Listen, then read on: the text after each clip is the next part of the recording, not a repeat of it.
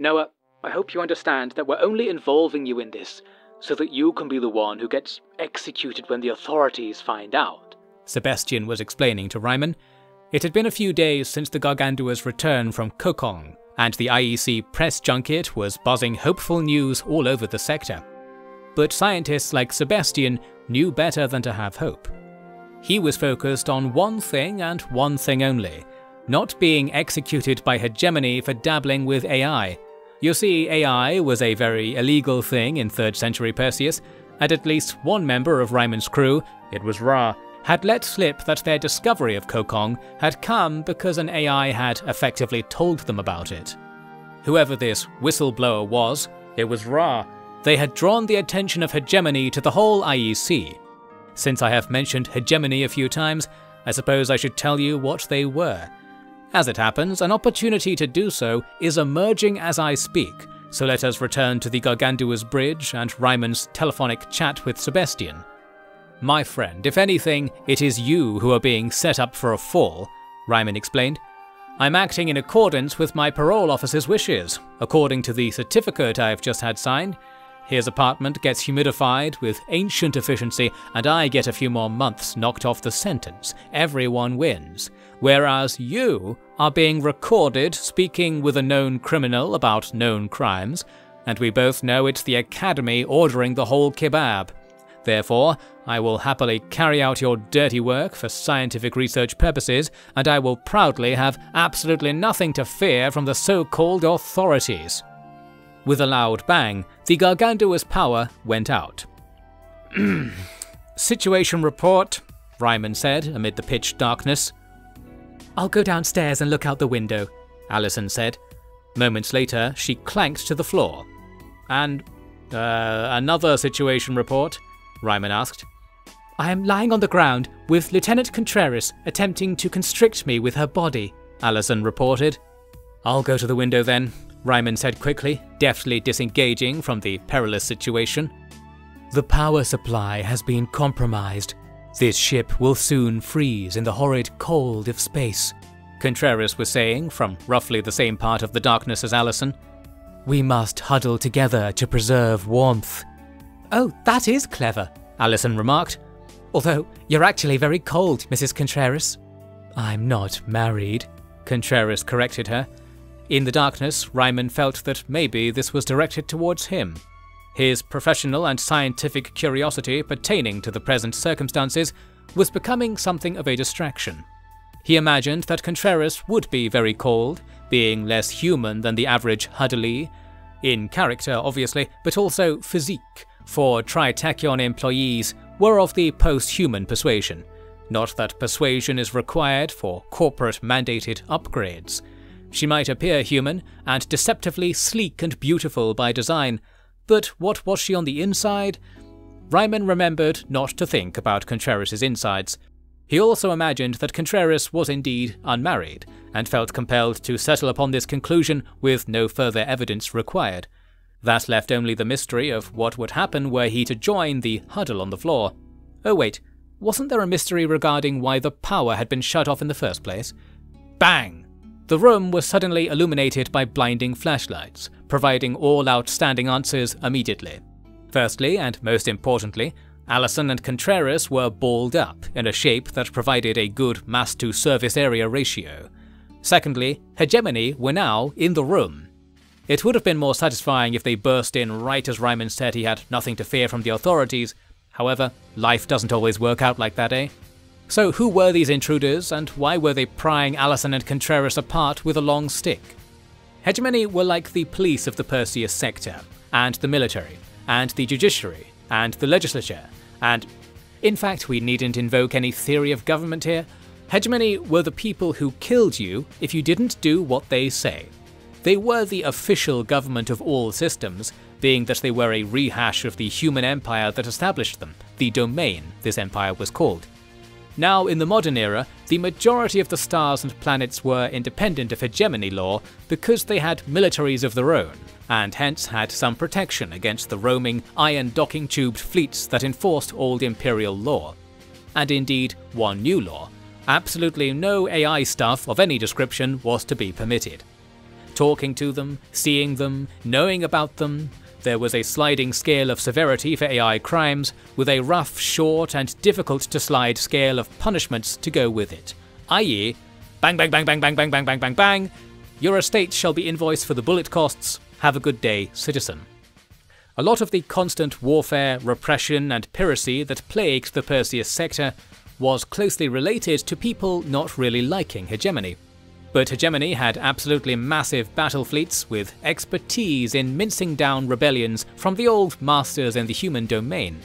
A small sample of such a fleet was currently parked right outside the Gargantua, itself directly outside the Galatia Academy, with its officers now getting directly inside the pockets, bags, nooks, crannies, ultra nooks, reverse crannies, and perhaps even hyper orify of the entire IEC crew. This isn't strictly necessary, Ryman said, pushing his pockets back into their holes and his feet back into their shoes. We cannot suffer the machines to live, a masked officer recited, Yes, well, usually we use that stick you knocked down over there to hold the door open since the thing's broken. That's how much we hate machines, you know?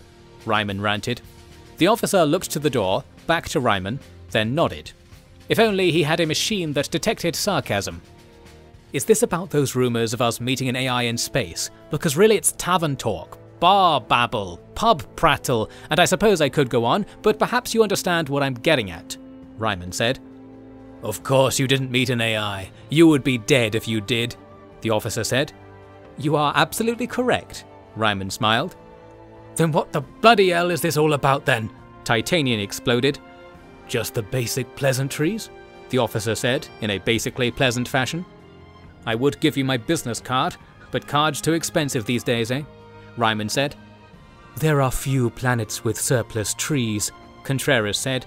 That reminds me of Kokong. And to what do we owe this very pleasurable pleasure? Ryman asked. Oh, oh, the debt, yes, there'll be a fair bit of it, but I think you might be able to pay it back, the officer said. Skipping the floundering, water treading, miscommunications, and repeated application of the stick to the Contreras Olympus nucleus, Hegemony were here to help. And by help, I mean spy, scheme, solicit, and perhaps even seduce, for the whole notion that the IEC might be less of a joke than previously assumed was starting to spread around the sector, as were the humidifiers and similar high quality ancient goods. It was only natural that the official government, controlling at least 10% of its claimed territory and boasting at least 10% approval within it, should be at the forefront of this new and surprisingly PR friendly venture. Oh, and as for why they burst in with the lights off and guns in everyone's faces, it was because generally in one's life, it speeds up all kinds of business to burst into rooms with the lights off and guns in everyone's faces. In Hegemony, it was practically rude not to do so, as this would indicate you don't really have any urgent need to interrupt at all. Very rude. So yes, Ryman and Co. weren't really in trouble. Quite yet, anyway. Ho ho ho. With these new guests, the IEC fleet was now replete with military meat, I mean might. A light carrier crawling with fighters, a destroyer broad shouldered and brimming with loud cannons, and an Eagle class cruiser, a big, menacing khaki triangle bristling with danger. But enough about Lieutenant Titanian. These craft, and their own set of logistical hangers on, fell in behind the Gargantua. Bodyguards, soldiers, pirate fodder, if Ryman hadn't already paid decent money to have Captain laser engraved into his door, he'd promote himself to a rank more fitting for his level of command. Although he understood, of course, that all this muscle had appeared free of charge because they were planning on ruining everything down the line to turn a quick buck. But what was Ryman supposed to say to that? Was there a single person in the IEC not trying to do the same? Before Kokong, there certainly wasn't, now, perhaps the odd fool could be caught experiencing hope. Let's see what this next journey does to the Peace and Hope share price index. The fleet set sail for the destination Sebastian had warned of. It was a star named Zendance, and it was about as far out as any ship could go. Yes, nearly 10 minutes away. I have mentioned before that hyperspace is a small place. This was by design. The reason human territory was divided into sectors was that a lot of work had to go into making a stable plane of hyperspace to cover that area. so while one was free to fly off outside the original bounds of the sector, the probability of them ever ending up in the reality they left from began to drop from its old reliable 99.9% to 0%, and into the negatives as you reach a point when one version of you makes it back and another simultaneously doesn't. If the two beings like this were to meet, it would obliterate the entire universe. But I'm sure that's unlikely, 0.1% chance at the most, and as all scientists know, events with a 0.1% chance to occur never occur. That's just maths, baby. Or was it baby maths? Being a very competent and professional crew, it is a surprise that the IEC ended up missing their destination and steering very close to the edge of their assigned hyperreality. The bit of the sector they'd been sent to was somewhere near the top of the Map of Linear Interstellar Existence Space, or Map of Lies for short. In this neck of Hyperwoods, there was only a single star further from home than Zendansk. That's where the IEC fleet absent-mindedly tumbled to, in a very cliffhangery fashion. It was called Carcassagan, and while simply turning around and taking 20 more seconds in the right direction was all they needed to do, intrigue abounded the moment they popped from the violet-ringed hyperhall. Still a very official and unfunny term, remember? A message, and it's in Old Tindarin, Allison reported. I will add that Tindarin was the language of the Persean sector, with Old Tindarin being what they called the slightly removed version spoken across the galaxy in the human domain. I have cleverly translated all their words into English for you, because it's the done thing. Do you deserve this? I cannot possibly say, in English.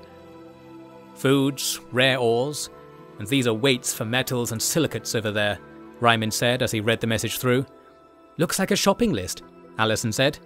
Or a price list. Is this some travelling salesman's lost transmission or something? It's all loud and clear. It's coming from this solar system. Let's take a look. Allison worked her magic on the equipment at her disposal. She focused the doo-wots, lowered the humdingers, and radically altered the telewobble roll angle, but don't get too excited. An image of a refreshing white-blue planet materialized on the main screen. This is the planet Wall. It is listed as an agricultural production world, in an advanced state of the terraforming process. Contreras read from her tripad. Agricultural? The whole thing's covered in ice, Ryman noted. It's very cold, but very fertile, Contreras said, her eyes drilling into Ryman's soul. Feeling he must say something, Ryman coughed. Maybe that was classed as saying something in Tindarin. Then he remembered that this planet was broadcasting genuine, non-cough words right that second. And where there was language, there was life, fleshy or superior. I mean, chemical or electronic. A course was set for said chemical and or electronic stimulus. Speaking of which, Contreras got to work analysing the commodity prices blaring across the vacuum. These exchanges are extremely wide margin, she said once the fleet was orbiting well. They are charging so little for food that we must simply purchase all we can. All crew, remove your clothes and prepare for an assessment of value. Lieutenant Contreras, please return to your quarters and don't come back until you aren't like this, Ryman ordered. But we must make these exchanges without delay, Contreras said, looking him up and down. I uh, wasn't going to delay, Ryman mumbled. And so, with this horrid space flirting finally done with, there was indeed no delay in taking a cargo shuttle down to the signal source on the planet. The shuttle was laden with spare parts, time torpedo casings remarketed as plows, nice idea, Ra, and a few unattended laundry baskets. What some lost traveller could want with all this metal was quite a head scratcher. What about a domain-era human city practically carved into the tundra by fuzzy walls of radiators all around it? An emerging market, Contreras would have said, if she wasn't on timeout for being a laissez-faire lecher. Instead, Ryman, Allison and Ra would be the ones to witness this ridiculous discovery. One cargo port landing pad was lit up for them already. There was plenty of speculation that this was a lost civilization, but I am giving it too much fanfare, as it would turn out to be not all that. Ancient city on a lost planet? It's not all that. Offering great prices on local fruits and vegetables? Okay, get in the car. And don't even pack the gas masks, because this place got breathable air, drinkable water, and public toilet infrastructure the ancients could be, and were, proud of. This city was almost entirely abandoned. We're at the stage where using the word abandoned when talking about places outside of the core worlds is like describing the taste of a beverage as wet. Still, this was a surprisingly unruined ruin. Credit for this was due to the band of scraggly folk who met with Ryman and company in the freight exchange. Oh, you're not robots, a punkish woman said. Ryman was surprised enough that he looked down at his body just to check. She was right. No, and you're not supposed to be alive, he said back. Is anyone? Where's the fleet? What fleet? Are you from the Core? Yeah, sorry. I don't believe it. How'd you find us? Took a wrong turn. Hey, wait a second. Did you know that in the Core, they say everyone living on these planets is dead, and that the planets are all ruined anyway? Someone tried to ruin this place, that's for sure. Looks like you Core folk got it wrong. That's a funny thing, isn't it? Do you think she's actually an AI? Ra whispered. Ryman was about to call him all kinds of names for this interruption, but he realized that little Fail Son might have a point. I'll tell you who we are, Ryman offered. We're explorers from the core, looking for signs of life out here. And here you are. I promise we mean no harm, even if it were the case that you were actually somewhat electronic. I'm not a bloody robot, the woman exploded. Ryman had touched a sore cable. We thought you were the robots, the ones from space that bring us our parts and tech. All this here. She gestured at a load of yellow crates stacked up in the freight exchange. It's food. Robots love food, they do. Do they now? And I suppose you don't need the food, seeing as you run on battery power? Ryman probed. They told me that people from the core are rude and can't be reasoned with, the woman said with a defeated shake of the head. Who told you that? Paying customers. Ah, I see. We actually did bring some things for barter. I'd like to taste this food that's so good even beings without any taste buds enjoy it. Alright, thing is. Ah, oh, no, we'll be fine. The robots will sort you out, won't they? She issued the final question to the crew at her back, who silently rose their arms to make a forest of red jumpsuits. It seemed like this was a yes, or at least something that meant the IEC offering was brought out to be weighed on the freight scale. So, do we really believe them, Captain? Ra asked as the IEC officers huddled off to the side. Not especially, Ryman said. I don't know what this business about selling food to robots is. Do you think by robots they mean AI? Allison asked. Allison, I do think that. Ryman nodded, giving her a pat on the shoulder. Further, I think it's strange that they would be A. buying food and B. buying it from humans. AI working with humans in harmony? That's more illegal than, well, than us even being here. But when you see it, so matter of fact, in the flesh, I can't say it's not impossible. This city needs machines, tech. There must be farms still going, under glass perhaps. These survivors have actually got a pretty sweet deal going. Wouldn't you be worried about the AI killing you if they know you're here? What if they don't like your prices? Ra said. I would indeed be worried by that, but should I be?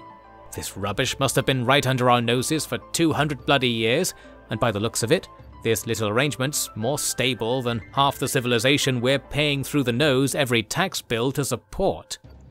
You pay tax, lol, Ra snarked. Ra, you haven't been paying tax. That's S word, Allison insisted. Evasion isn't stealing, just like salvaging isn't stealing. It's what they want you to do, it's how you win. I'm telling Dad.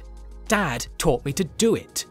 For legal reasons, I note for the record that I cannot hear this conversation, Ryman disclaimed, not liking that Ra looked him in the eye when he said Dad. It had been a bad day for letting his crew look him in the eye. Perhaps a new regulation was in order. Well, aside from this, the businesslike locals of Wall had carried out a trade of the spare parts, and indeed the spare clothes, for a load of factory fresh transplutonic ingots, worth a ridiculously large sum that would have Contreras on a high for days, and some crates of genuine well grown naan bread. Vacuum sealed, just the way the AI liked it apparently. There was one box that stood out from the others, it was human sized and had an outline of a human on it, and through a window in the front, one could make out the frosty image of a human. I wonder what it is, Allison mused. Ryman inquired and came back with the answer that it was something that belonged to them. Wishing to return to the ship, Ryman gave a thumbs up. Who knows how offensive that was on Wal, but it didn't matter anymore, as the cargo shuttle was shooting back up to the Gargantua. Cryogenically frozen, Ryman noted of the human cargo container. He looked very closely. No, it's not Calicor. Oh, ah, that would make total sense, Ra commented. If it had been him, we'd be like, whoa, so that's how he really died. Too bad. Not too bad, Lieutenant Olympus Mark II, because if the answer to his grand conspiracy was that he died because he offended a secret naan bread dealer on the edge of known space, that wouldn't really be the payoff we need. He might have known the AI were buying bread and followed them, Allison said. Exactly right, Lieutenant Olympus Mark I, Ryman said. Allison made a silly face at Ra, who reeled away and expressed his frustration by slamming the big red button on the cryo crate. I am Chief Logistics Officer and I can inspect the cargo whenever I like, he quickly said before Ryman complained. Checkmate. He's going to be so happy we brought him back to life, Allison said. Let him meet his new family before we rule him out for antidepressants in the rations, shall we? Ryman said. Oh, so that means we're going to keep him? I imagine so, unless you wish to throw him from the ship as we go. No, you can't just do that to a person. We paid for him. That's the spirit. Although I am concerned that he might be a bomb. It's really hard to make a good first impression with you, isn't it, Noah? Captain. No, I mean because those people might not want us blabbing about them. They might know that Hegemony, who are, may I remind you, in orbit of this planet right now, thanks to us, will kill them for working with the AI. That's not gonna be a problem, Ranger, a voice inside the cryo crate said. Ra was standing there gawping with what must have been pride. Open the bloody thing, Ryman actually had to say before Ra did so. Inside was, drumroll please, a human man, living, as of a moment ago breathing. Completely naked, as the universe always intended. Whether the universe intended for the three IEC officers to be staring at this nudity, well, such questions are the remit of the great religions. For us, we must concern ourselves with the practical questions. Who in the name of Ludital are you? Ryman asked. And what have you been eating to get like that? Ra added, noting the frozen man's favourable appearance despite the low temperatures. The man rose from the crate and vaulted out, scattering sparkling crystals of cryomatter all over the place.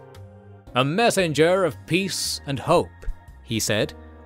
Wonderful, that's what we are too, Allison said, finally managing to tear her gaze upwards to look the man in the eye.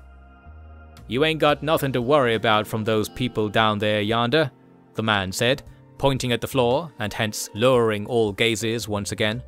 Ryman decided to give him some of the unsold dirty laundry, during which the man went on to say, Those folks have a pact with the so-called higher beings. If you do them wrong, you're dead. Hell, if we even talk about ratting them out, the remnants will come with all their unholy power and send us to a place from which there is no escape. You're saying we don't need to worry about them killing us because they'll get someone else to kill us for them, Ryman tried to clarify. That's about the long and long of it, sure thing, the man said. And how do you know all this? Looks like they weren't too kind to you. They did not appreciate the truth. The truth that all this technology is the death of us, and it'll damn well be the death of them, the man preached, striking a pose that tore his too small donated clothing. You're a ruddy lad, aren't you? Allison asked, immediately losing all interest in him. Ra scoffed and turned away. I am a follower of the mighty Ludd, and you, friends, have been spared a meeting with the demons he seeks to strike down. Count yourselves lucky. Don't worry about them, Ryman assured him. They can't count their own fingers, let alone luck. When did you come here? It was some years back. Hitched a ride with a grey haired fella, wearing same clothes as you, come to think of it. Calicor. Heck of a name. Thanks for remembering it for me. A name that invoked pain, yet perseverance, great intellect, yet great darkness within. Yeah, he was a bastard, alright. Spent the whole flight kinda strangling himself in this weird. Do you know where he went after you last saw him? I left him with my brother. You see, he was working in the nearby system. Zendance? Damn, you know me better than I know myself. But that's saying little of anything. Cause I don't know myself better than I know the meaning of the words I'm saying, you know? I know exactly what you mean, Ryman said. There's that I'm going to kill you, you moronic insect tone again. Can you show us where he was working? I'd be positively delighted. Maybe my brother in Lud is still there. As for your man, I think he had a hankering to be someplace else. He had a secret he was keeping from me. He was researching AI, Allison blabbed under no pressure whatsoever. I think she was simply being friendly. Emphasis on the simply. You. then we cannot delay. We have to catch up to him and stop him, the man insisted. This time it's you reading my mind, my good friend, Ryman said. Allow me to find you some shoes, and we shall head to the bridge of our ship. Shoes? Shoes? Y'all got a lot to learn about technology, the man said, appearing genuinely crestfallen. We are dirty, sullen creatures, my friend, as you'll see. But the tools of your enemy might be the very thing that breaks that enemy's armor, eh? Ryman said. He was an expert at dealing with Luddites, as you might imagine. In the Persean sector, you had to be, because the average Luddite carried several guns, and pamphlets packed with rhetoric imploring the liberal use of said guns on almost any occasion. You might argue that a gun is more technologically advanced than a shoe, However, to begin arguing over the fine details of Luddic whims leaves you vulnerable to becoming the leader of the 38,000th Luddite splinter sect, who will fight to the death to defend the right to wear shoes while executing anyone caught smuggling an abacus into an accountant's office. Suffice to say, in the chaotic aftermath of the AI wars, it was easy to forget where exactly the whole problem with technology began and ended. Indeed, human tool-making instinct itself was the result of some original sin, according to 73% of Luddic canons. So man, I guess you have a name and stuff? Ra asked. He had guessed correctly. Name's Thursday. Picked it myself. What does it mean? Allison asked. It's my favorite day. Oh, which Thursday was it? Every Thursday. Every Thursday is a perfect day. Thing is, Seems these days, it ain't been Thor's day for a long time. Thor's day, let's call him Thor, looked up at the ceiling as if it was a boundless sky, vast yet still unable to fully contain his ennui. Or maybe he was looking at the spider in the corner, given how he was also licking his lips. We'll get to know him more later, because the first priority was to follow his tip, which happened to amount to doing what they were supposed to do in the first place. Makes work that more exciting when a mysterious stranger tips you off that it's a good idea, doesn't it? More management lessons you can only learn at the edge of space-time. Anyway, the shuttle got back to its bay in the Gargantua, and the crew were prepared for the short journey in a homeward direction. Although Ryman preferred not to tell the crew where they were going, knowing it would probably bite him later if the little buggers expected such things all the time. As they began to accelerate away, Allison was on the task of scanning the planet to compile data for the official report. The results were a little too juicy, given the whole tell anyone about them and the AI will somehow know and kill you instantly vibe that Thor had been pushing. And who wouldn't believe something Thor told them? Ah heck, I'll tell you what she found, between you and me. You see, the place they'd visited wasn't the only city on the planet. A few others had also kept their radiator walls online to hold off the Ice Age. Now there was essentially an ongoing battle between alliances of survivor groups huddled in their decaying city rings, exploring colossal ruins of industry, and contending with passing visitors possessing far-reaching machine intelligence and unknown motives. The stories of this one planet were so fascinating, so vast, so gripping and twisty, that I hope you'll appreciate I'm telling you a completely different one instead. It means this Ryman Contreras space flirting saga and all its attached rubbish is even more profound and important than all that. One day you'll see that I'm right. As captain, Ryman stepped in to censor all this intrigue, the cool planet stuff, not the sickening horny stuff. Makes you wish for a program of censorious Castellans, doesn't it? Right, he sighed after uncurling from his keyboard. So the official story is that we found a 200 year old band of survivors who made it this far because they found an ancient stock of vacuum packed naan bread deep enough to last, say, 300 years, so no one needs to check back on them until then, and the planet's pretty much dead, ice age, not worth a look, nothing to see here, and so on.